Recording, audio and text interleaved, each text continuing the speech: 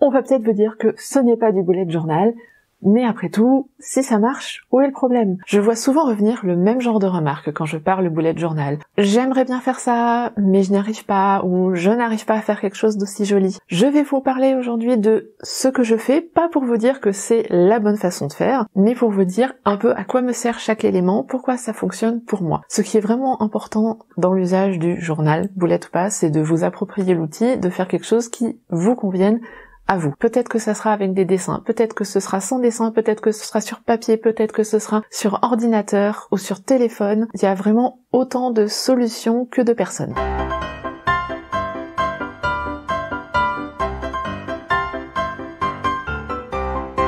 Coucou, je suis Marion de Green Martha et je fais du bullet journal depuis 2018. Avant le bullet journal, j'ai eu un agenda.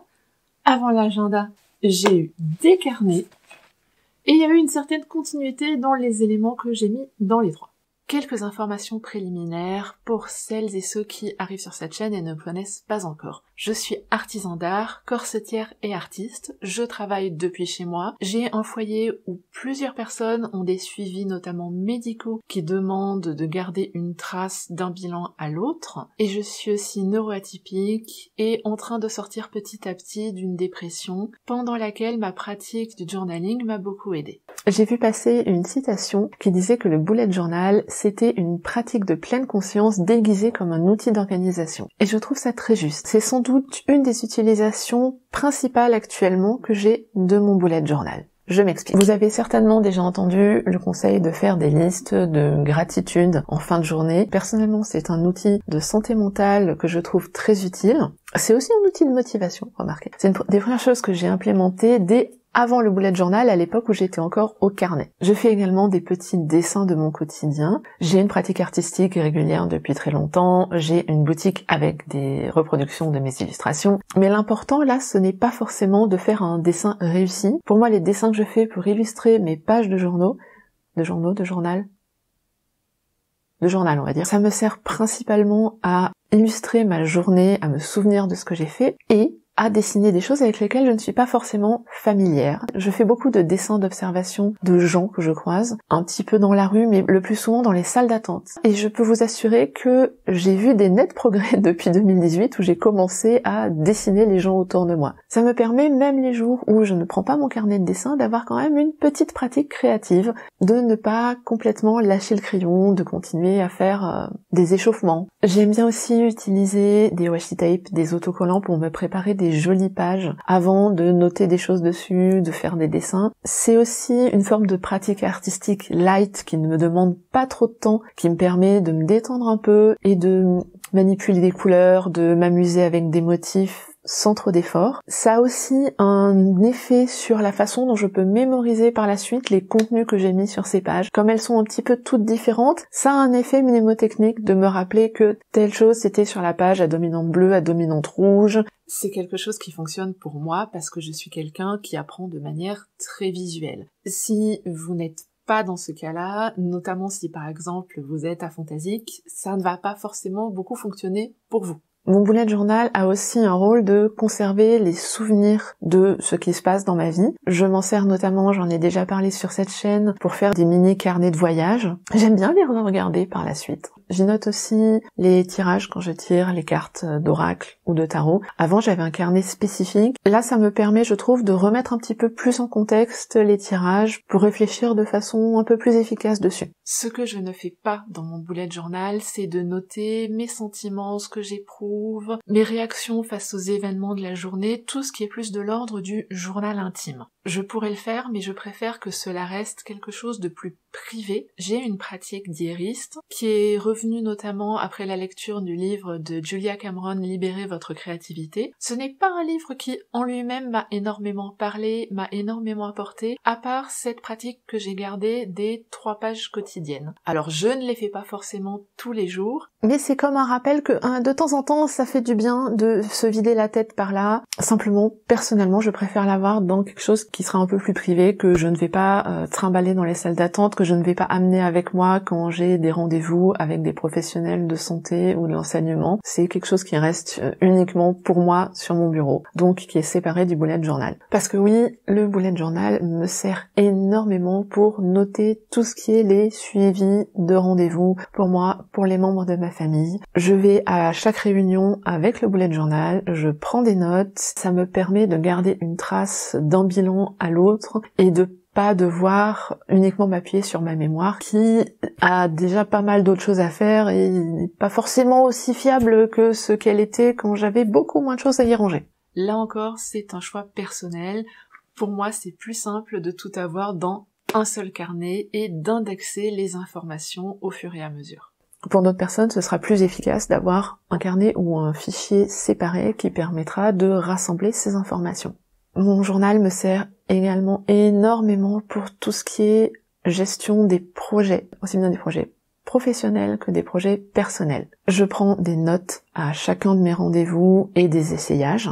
Pour moi, c'est important de les avoir dans le carnet parce que le carnet, c'est ce que j'ai toujours sur moi, c'est là que je centralise les choses. Je me sers aussi de ce carnet pour scripter mes vidéos. C'est le cas de celle-ci. Le carnet est posé sur mes genoux. J'ai au début de mon carnet une page pour toutes les idées plus ou moins abouties de vidéos que je veux ou pense faire un jour. Des fois, je vais avoir des pages où je vais juste jeter quelques idées qui seront pas forcément encore le script construit. Ensuite, j'ai le script lui-même avec l'introduction, l'organisation, la conclusion. Et je fais aussi, généralement, c'est une demi-page où je prends des notes au fur et à mesure du montage et au visionnage après montage pour m'assurer que je n'ai pas un erreur noir qui traîne, une erreur de continuité, un découpage un petit peu imprécis, toutes les petites corrections que je vais devoir apporter après avoir fait le gros du montage. Là encore, c'est mon système de fonctionnement. J'ai vu des personnes qui préféraient séparer le pro du perso et si ça fonctionne pour vous, bah ma foi, allez-y. Pour moi, c'est plus simple de tout centraliser à peu près au même endroit. Je dis à peu près parce que j'ai encore d'autres carnets un peu plus spécifiques dont on parlera un petit peu plus tard.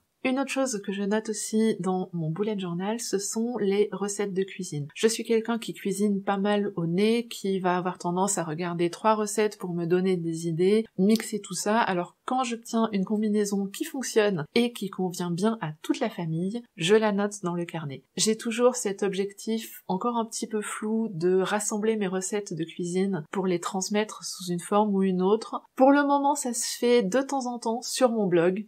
Il y a le lien qui est en dessous. J'aime aussi prendre des notes sur le contenu culturel que je consomme, donc sur les vidéos que je vais voir, les films que je vais voir, les expositions auxquelles je me rends ou les livres que je vais euh, lire. Là encore, j'ai vu des personnes qui consignent ça dans des carnets séparés. J'ai notamment dernièrement vu une vidéo de l'artiste Katie Mai qui fait, qui a fait tout un art journal à partir des livres qu'elle a lus, qui est très très chouette. Je me suis rendu compte que je profite plus de toutes ces choses quand je me pose cinq minutes après les avoir finies pour me dire qu'est-ce qui m'a plu, qu'est-ce qui m'a moins plu, qu'est-ce que j'en ramène, qu'est-ce que j'en retiens. Je prends aussi dans mon journal des notes de lecture quand je veux garder en mémoire des points précis d'un livre, euh, comment on dit? Quand je fais des lectures qui ne sont pas de la fiction, qui sont un peu plus académiques pour la recherche, je me sers aussi de mon journal pour prendre des notes de lecture. C'est quelque chose que je ne fais peut-être pas aussi souvent que je devrais le faire, je devrais être un petit peu plus assidu et systématique là-dessus potentiellement. Prendre ce genre de notes, ça va aussi m'aider quand je veux faire des articles pour vous présenter une exposition ou par exemple un livre de costumes. Mon bullet journal, c'est vraiment un outil que j'utilise tous les jours. Je conserve par exemple dans la pochette à la fin du journal les ordonnances en cours, j'ai des pages de référence pour mon planning de blog ou pour le tarif des retouches que je propose par exemple. C'est vraiment un outil qui structure ma vie au quotidien. Je m'en sers pour répartir ma dose de travail. Grâce à mon journal, j'ai fini par mettre au point une technique assez visuelle pour gérer ma fatigue notamment. Je sais que je dois faire des cases sur mon calendrier qui font une certaine taille, tout simplement parce que si je dépasse cette taille et le nombre de rendez-vous en ayant un rendez-vous par ligne, je ne vais plus avoir d'énergie pour quoi que ce soit pendant plusieurs jours. J'ai aussi un calendrier partagé sur ordinateur qui est visible par toute la famille mais pour moi j'ai vraiment besoin du papier pour avoir la vision d'ensemble et pouvoir organiser mes rendez-vous notamment professionnels autour du reste de l'emploi du temps de la famille.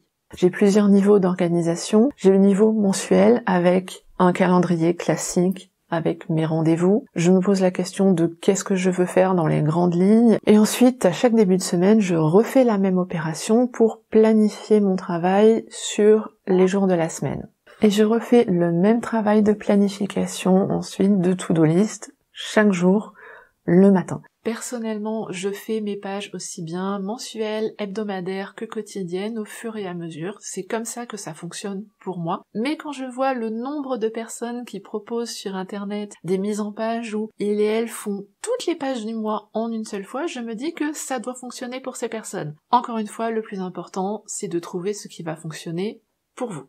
Mon bullet journal, c'est aussi un outil pour cultiver de entre guillemets bonnes habitudes. J'aime pas trop le terme de bonnes habitudes, mais je dois reconnaître qu'il y a un certain nombre d'activités qui me font du bien quand je les fais. Quand je ne les fais pas, je me sens moins bien et des fois il me manque un petit peu de motivation pour être régulière là-dedans. Donc j'utilise le truc du tracker. J'ai pas mal testé de choses. Et c'est ce qui fonctionne le mieux, le tracker mensuel où je viens cocher les habitudes que je veux maintenir de façon régulière. J'ai un outil récurrent qui est la liste de mes activités de self-care, donc toutes les choses qui me font du bien et que je ne pense pas forcément faire dans les moments où je ne suis pas bien. J'ai testé différents formats pour ça. Je suis encore en recherche. Actuellement, j'ai essayé de pousser la gamification jusqu'à avoir une sorte de bingo avec une case récompense à la fin.